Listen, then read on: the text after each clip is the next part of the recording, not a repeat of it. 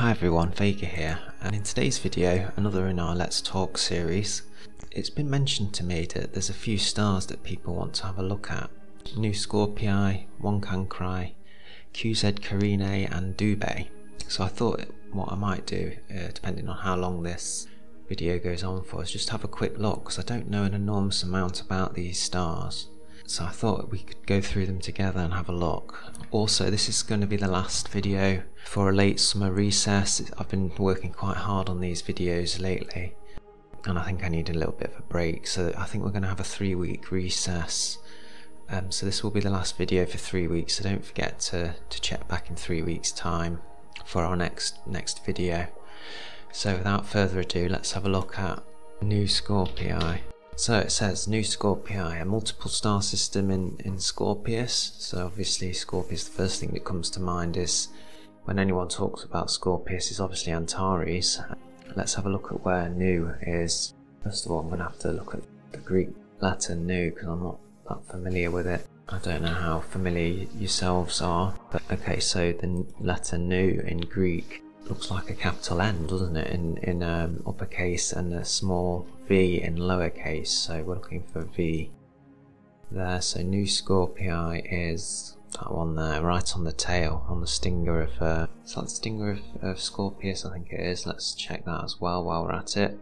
Yeah, the stinger there, there's a graphic there. So Nu is in this, this tail part of Scorpius. And it appears to be a septuple star system. Wow, that's incredible, isn't it? Seven stars, um, all in the same systems. First thought comes to mind, it reminds me of a bit of Acrux, which is also an incredibly complicated system, 470 light years from the Sun. Component Nu Scorpii AI is formerly named Jabba. I don't know Mo's around, we've got a, uh, our resident Arabic um, translator. I, am hoping I've pronounced Jabba right, Mo. Uh, I don't know if you can help us out with that. And it says contrast the similar sounding Dschubba. Well, now I'm, as far as I'm aware, Delta Scorpii is pronounced Shubus. Shubus, that, that star. Um, again, Mo, if you can help us out, please do. But anyway, back to, to Jabba or, or Nu Scorpii. So let's have a look at the statistics of, of Nu Scorpii. So we've got there's, a, seven stars and it's incredible, isn't it, that many? Here's a, a diagram of the system. So we have AA and AB with a, a short period of 5.5 days, so they're pretty close together, aren't they?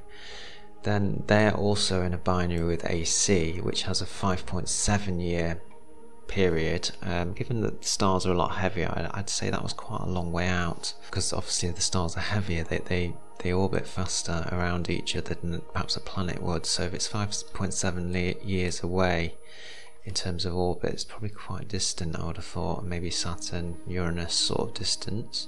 Then we've got another one B, C, and then we've got a pairing of DA, DB. Uh, here we are. So, uh, God, blimey, it's a it's an incredibly complicated. In fact, it's possibly the most complicated system I've ever seen. Probably that's why you folks have recommended it to me to have a look at. To be honest, looking at Nu Scorpii, it's it's going to be a full video just on Nu Scorpii, isn't it? From the looks of it. Let's have a look. Yeah, so Bobby, here we are. Can you do Nu Scorpii and PH1? I, I don't fully understand what Bobby was talking about with that one but also America West, one of our channel's great friends, uh, also seems to want to have a look. So here we go. Again, this system looks incredibly complex. We've got a weird, it's almost like the Olympic rings, isn't it? Maybe we should call Scorpii the Olympic ring system. Now let's have a look at those stars then so it doesn't it doesn't seem to have all of them in on Wikipedia. Let's have a look on starfacts.com, see what we can find on there because I, I like to know. No, it's not. It's not Girtab, is it? Or Shaula. Uh, look at the name of that star, Zebenel Genubi. Alpha 2 Librae. Wow, that might be one to have a look at in the future. No, it doesn't seem to see any, say anything at all on starfacts.com, at least in this brief investigation that we've made. So we're stuck with Wikipedia, I'm afraid. So we've got AB is a B-type main sequence star, and CD. Wow, it's it's, it's actually a nine uh, giant, so it's almost um, an A-class giant, isn't it? Or B9 right at the bottom there of the B but giant star nonetheless. Oh blimey, it's really complicated this system. Let's have a read. Nu Scorpii A is the brightest member of the system. An apparent magnitude of 4.35, so it's not a very bright star in our skies. I'd like to find out where it ranks in the brightest stars category, if indeed it even ranks on the, the category. With an apparent magnitude of 4.3 roughly, um, it's probably unlikely to be on our list, isn't it? Our list goes up to 2.5, so yeah, I think Nu Scorpii is, is going to be a long way down the list of brightest stars, certainly across thousands, visual magnitude of 4.3. Uh, Nu Scorpii A, B and CD cannot be resolved using the naked eye, but could be resolved with a telescope.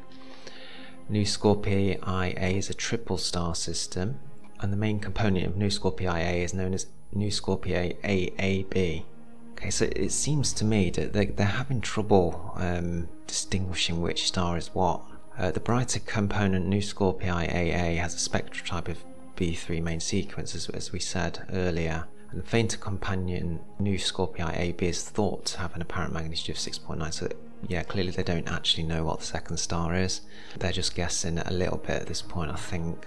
Nu Scorpii AC is the third component of the Nu Scorpii A subsystem, 63 milliarc seconds away. So 63 milliarc seconds is, is a fair amount actually. So we're talking about, this, if you look at the star of Betelgeuse in the sky, that's about 45 milliarc seconds. So they are separated in the sky by more than the, the size of Betelgeuse in the sky, if that makes sense.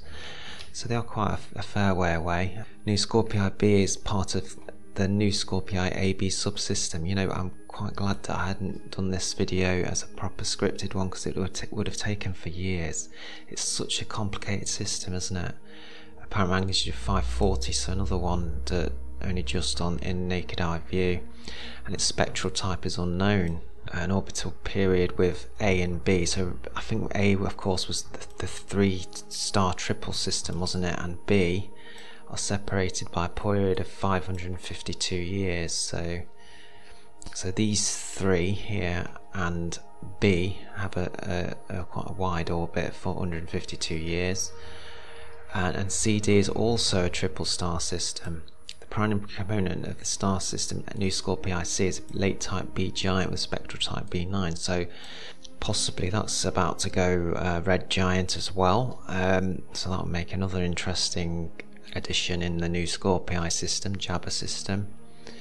Uh, it outshines its fated companion Nu Scorpii D uh, which is roughly on naked eye view so you're not going to see that and the two are separated by two arc seconds so they're quite quite distant from each other Nu Scorpii is, is the faintest component of the Nu Scorpii system, and it's one of those chemically peculiar stars. Uh, AP and MBP stars. Uh, it might be worth doing a video at some point on those chemically peculiar stars. Uh, so there we go, Nu Scorpii. Uh, let's just see if there's any more if, interesting information that we can get from this uh, small page on Wikipedia.